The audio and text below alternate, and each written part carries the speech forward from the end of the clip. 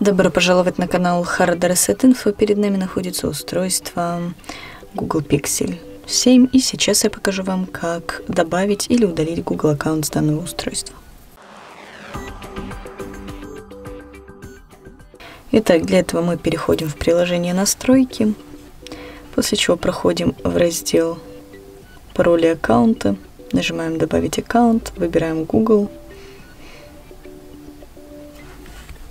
после чего вводим телефон или адрес электронной почты.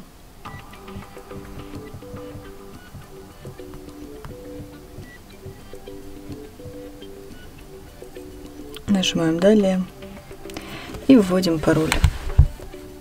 И нажимаем «Далее». Здесь мы все принимаем.